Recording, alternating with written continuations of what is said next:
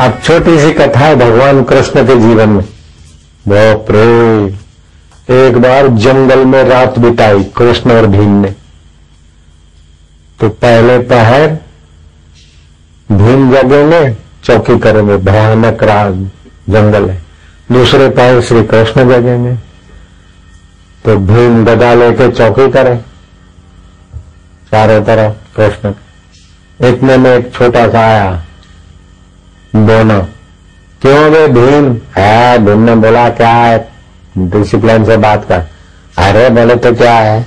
तो भीम को गुस्सा दिला दिया। जो भीम को गुस्सा होती वो बड़ा होता गया। और धीरे धीरे धीरे भीम की बराबरी हो गया। अरे भीम ने बोला, क्या है? बोले, क्या तू क्या समझता?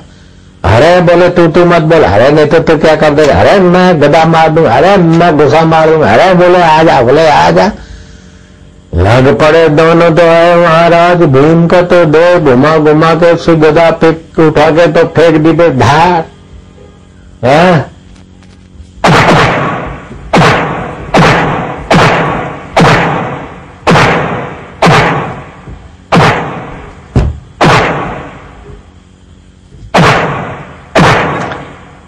ऐसा भीम को तो ऐसा बना दिया बॉक्सिंग देखे तो तोबा तोबा भीम तो अब कैसे भागे भी ठीक नहीं।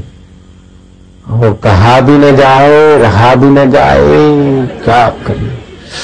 पहले पूरा हुआ भीम ने इधर उधर देखा, इतने में हुआ, दृश्य हो गया। कृष्ण, अब आपका आ रहा है। ऐसे करके भीम तो पड़ गए।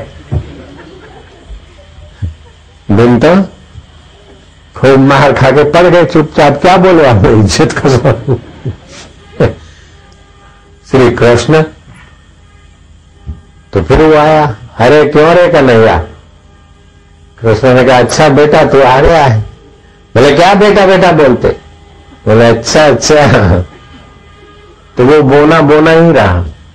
वो कुछ भी बोले, और कृष्ण बोले अच्छा बेटे अच्छा अच्छा।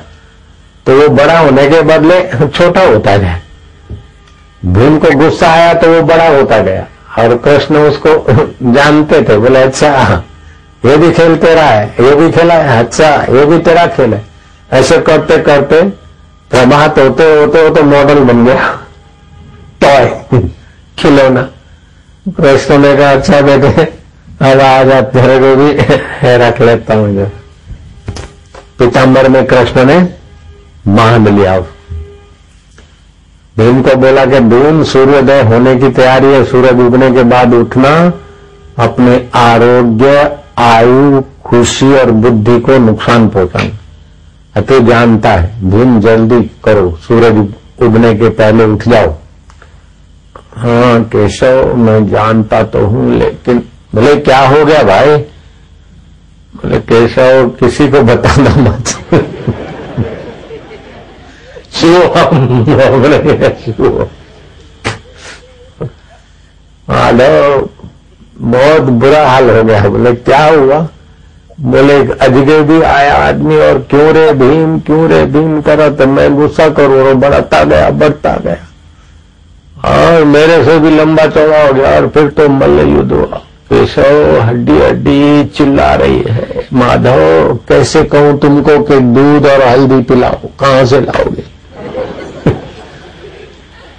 कैसे कहूँ, माधव, कि मेरे को सो जाने दो, माधव। माधव कहते अच्छा तो वो फिर कहा गया? बोले, बस मेरा समय पूरा होते ही वो तो अदृश्य हो गया। अच्छा अच्छा तो फिर मैं जब चौकी करा तो फिर वही आया था। है? केशव आया था? बोले हाँ फिर आपसे बेड़ा बोले, मैं उसको पहचान गया था तो मैं बेड़ा नहीं उसको। वो कुछ भी बोले तो मैं उसको महत्व नहीं देता था, मैं हंस लेता था। अच्छा ऐसे होता है। महत्व नहीं देते। न भेड़े, न भागे। हम खाली उसको गुजरने दिया, उसकी बातों को। ध्यान देना अब सबके जीवन के लिए है ये।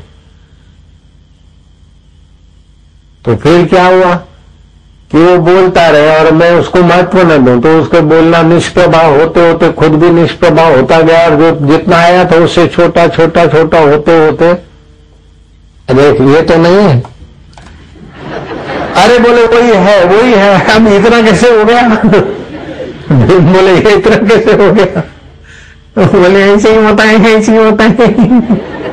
वंदे कृष्ण जगत वंदे कृष्ण जगत ये कृष्ण की कृपा है जगत गुरु ने ऐसा बना दिया। तुम तो बड़ा बना दिया था इसलिए तुम्हारा बेहाल हो गया था वंदे कृष्ण जगत भीम बोले, माधव, में समझा नहीं क्या है। बोले, यही है, जगत का स्वरूप। सुख को, दुख को, काम को, क्रोध को, लोभ को, मोह को एक व्यक्ति में भर दो।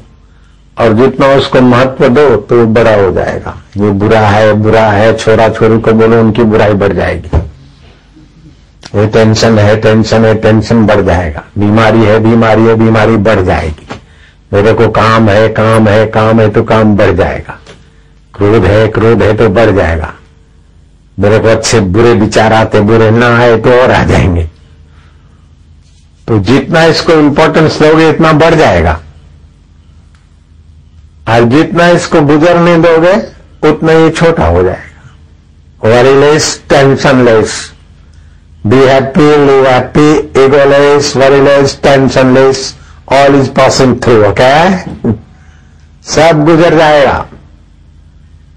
In the window neither you ना हाँ वाह को किसने देखा ना, तूने न मैंने। लेकिन जब पसार होती तो महसूस होता है। ऐसे ही महसूस होता है और पसार होता है। स्थिर नहीं है। हमारा आत्मा स्थिर है, हम स्थिर है शिव हम स्थिर है, और भाव बदलने वाले। काम आया गया। सदा काम ही रह सकता है कोई, बताओ। सदा क्रोध ही रह सकता क्या कोई?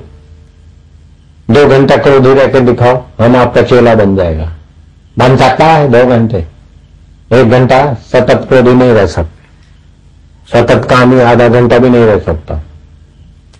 लेकिन सतत समाहित रह सकते, सतत साक्षी स्वरूप में रह सकते। आप सतत हैं और ये असतत है। आप नित्य हैं, शिव हम।